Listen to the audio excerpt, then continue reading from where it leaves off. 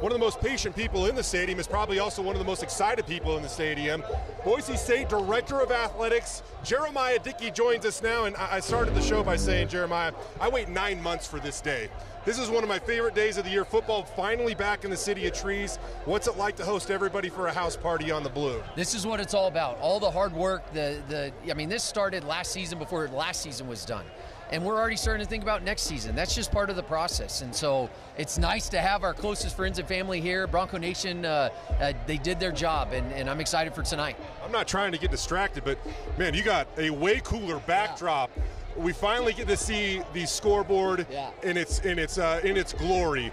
How excited are you to uh, kick this thing off and see Bronco Nation's reaction to that thing? Yeah, I mean that and the lights and and I mean this is what it's about, right? We're going to improve on the experience every year. Our expectation is for Bronco Nation to see something different every game.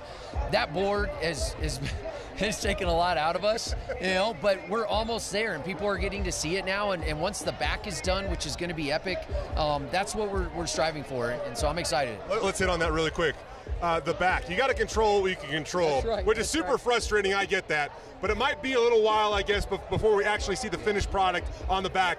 As much as you can say, what happened there, Jeramiah? Long story short, we ordered the cladding on the back. There was a specific color that we're looking for. Blue is an important color for us, and it did not come in uh, the color that we needed. And they had to specifically make that cladding for this board. So it was a waste. And so now we are gone. We've gone back to the manufacturer to say this is not the blue that we had asked for, and and they're working on it. So it happens. We're, we're going to control what we can. We're excited. They've done a great job. They've been great partners for us and, and with us. And you know what's next? We we got to keep moving forward. So the board is one of the things that fans are going to see the second they walk into the stadium. It's obvious, but there's something new that they're going to have to wait a second for. That's those LED lights. How excited! You already got the blue field, the blue jerseys. Now the blue lights coming into the picture. Yeah, I mean I'm excited, but you know since I've been here, everyone talked about we don't like late games. We don't like late games. we have all these early games now, and now it's like we need a later game. No, like hopefully we see it in the fourth quarter, and, and we've been out here. You guys were out here last night.